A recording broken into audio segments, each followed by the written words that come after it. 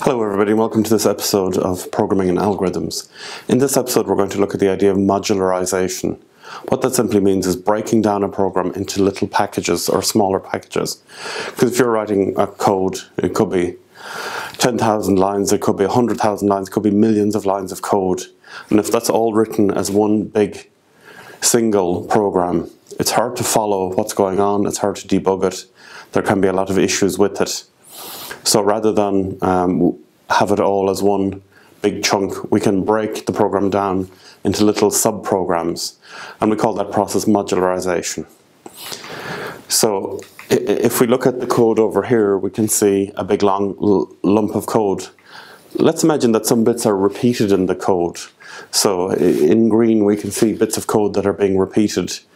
Um, so if that code is repeated over and over again, rather than have to rewrite the same function, the same method, it could be code for checking if a number is prime, it could be code for swapping two values, whatever it is, it could be for calculating factorial.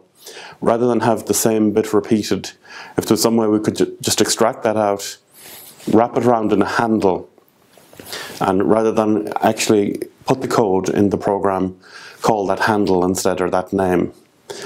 Um, the term we'll use is either a method or a function or a module is fine, I'm fine with that, or a subroutine or a procedure. So different programming languages have different terminology for that. I'm happy to stick with the term module or method for the moment, but in some books you'll see the term, the, the term being referred to as creating a function or creating a procedure or creating a subroutine in older languages. It's a good idea to do this because one of the fundamental concepts in software design is not to reinvent the wheel.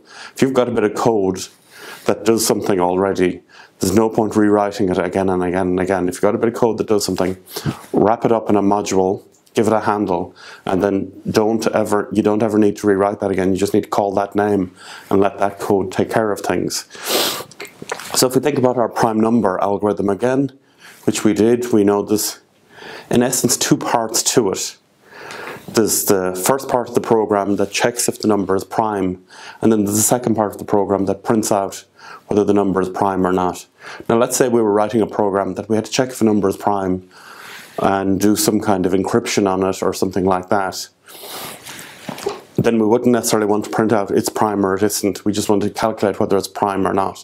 So the idea of having a program that just simply checks if something is prime and returns either true or false, it either is or isn't prime, but doesn't print out on the screen, might be useful as a as a, a, a library function or a code we could then use in a different program. So, as we said, the first part checks if the number is prime and the second prints out the result. So let's create a module for the checking if a number is prime bit.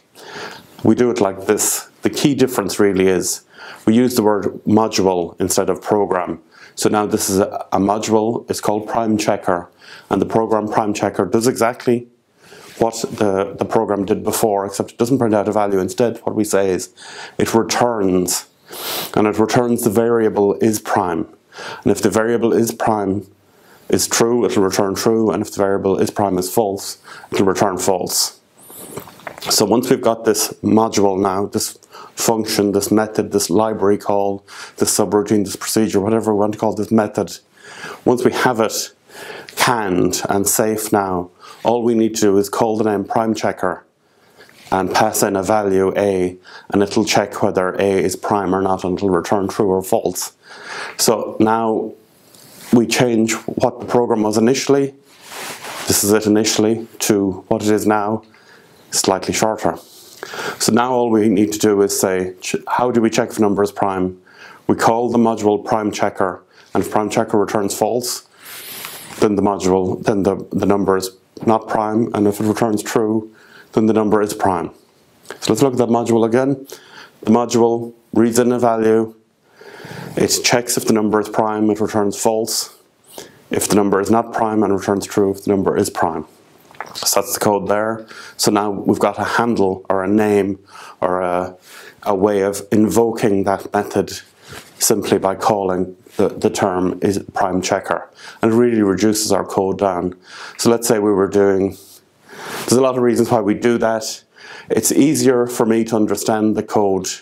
If we look at that, if I was presented with that program, The program is check if number is prime, it runs prime checker. I can see exactly what the program does. It prints out true or false after checking if a number is prime, so it's much easier to understand.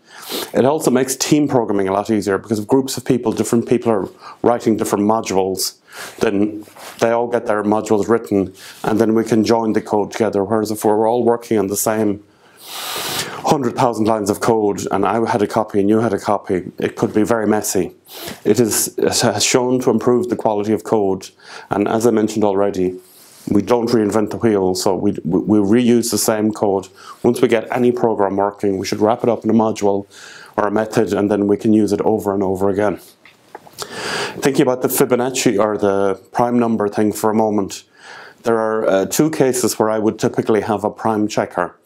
Um, in maths, there's something called the Goldbach conjecture that says that every even number greater than 2 is the sum of two primes. So, well, 2 is 1 plus 1, 4 is 3 plus 1, 6 is 3 plus 3, which are both primes, 8 is 1 plus 7. So every even number can be calculated as the sum of two primes. So if I have my prime checker, that would, would be part of the code to check Goldbach's conjecture, but I wouldn't want to be printing out is prime or is not prime every time, so I'm just checking if it's prime or not.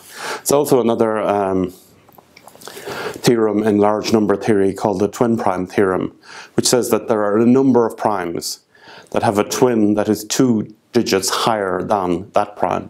So for example, the numbers 3 and 5 are both prime difference of 2, numbers 5 and 7 are prime difference of 2, 11 and 13 are prime difference of 2, 17 and 19, 29 and 31, 41 and 43, 59 and 61, 71 and 73, 101, 103, 107, 109, 137, 139, etc., etc. And that goes on infinitely large numbers of twin primes. As it happens, for some strange reason, even though the distance between prime numbers increases significantly, you'll always, you'll frequently find by adding 2 onto a prime number, you'll find another prime number right, right near beside it. So if I was writing a program to explore twin primes, what I might do is call my prime checker module uh, check if number is prime, then I'll say add two onto that, check, my module checker again, check if that is prime, and if they're both primes, then I'll can just say, well, there you go. We've got another set of twin primes. So modularization is really neat in terms of wrapping code up, and if we write any nice bit of code, let's wrap it up in a module. Thanks very much. We'll see you on the next episode.